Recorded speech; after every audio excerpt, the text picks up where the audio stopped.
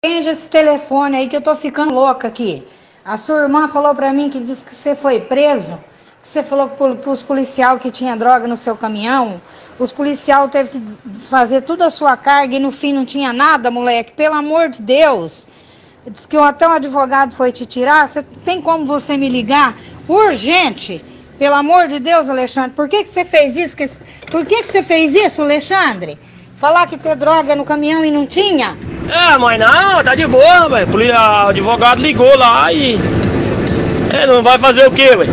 Não é? Me parou e perguntou. e parou, bateram só. Machucou minha costela só. Em minha cara.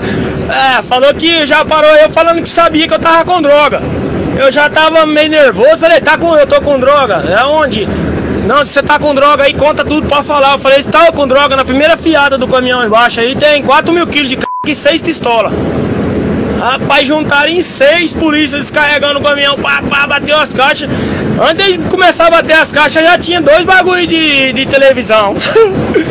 aí não tinha p nenhuma, rapaz, o baixinho desceu brabo, o baixinho dava suada, já me chamou a bota nas costas ali, já. Aí os, os outros caras lá não deixou ele me bater mais, aí eu já tinha ligado o advogado, né? Você não tem, você não tem juiz, não? Hein, você tá doidão? Você tá louco? Quantas vezes eu falo pra você, meu filho? Respeita os policial, meu filho, respeita. Eles estão tá na pista para fazer o serviço deles, filho de uma chegar aqui, quem vai você vai levar uns tapas na cara vai ser de mim. Cachorro. Nunca mais na vida deles, moleque maluquinho. Vão revistar caminhão dos outros. Nunca mais. E de uma Falei, falei que não tinha, não tinha, já falou, eu sei, rapaz, tá droga, você tá, eu falei, tá mesmo, tá lá na frente lá. Lá na frente do caminhão lá, na primeira fiada. Vai pegar um moendo.